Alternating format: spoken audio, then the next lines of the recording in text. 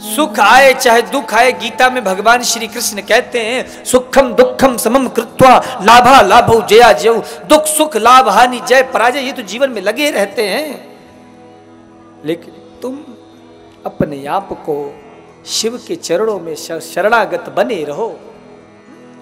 एक बार तुम्हारी जो डोर है मन की, ये भगवान शंकर के चरणों में बंध गई तो तुम चाहे कहीं भी भटको, कहीं भी घूमो, कुछ भी तुम्हारा बाल बांका बिगड़ने वाला नहीं देंगे। तो इसी प्रकार से जब तुम अपने मन को भगवान शिव के चरणों में इस रस्सी को जो मन रूपी डोर है, इसको जब तुम भगवान भोलेनाथ के चरणों में बाँध दोगे तो फिर तुम कितनी भी दूर से कूद जाओ, तुम्हारा कुछ भी नहीं बिगड़ने वाला है। संसार के काम, क्रोध, लोभ, मोह, मद, माचर ईर्षा द्वेष, यह कोई भी विषाद तुमको नहीं परेशान कर सकते हैं।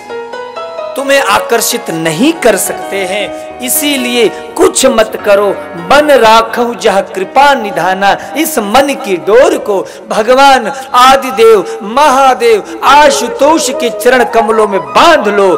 बस तुम्हारा कल्याण हो जाएगा।